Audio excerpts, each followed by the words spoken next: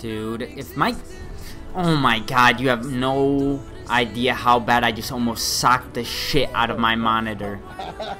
Holy shit, man. Like, when I press the spacebar, like, the game should jump, right? Yeah, me too, but... Little beam. Dude.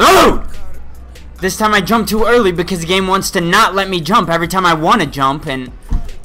I jump too early, hit my fucking head, and get nowhere. Go straight to the fucking ground. Switch straight, I got it. Did he walk in that barbed wire or no? Yeah. I was terrified to do that. Yep, this guy's just like me. I don't. Making sure my fucking spacebar works.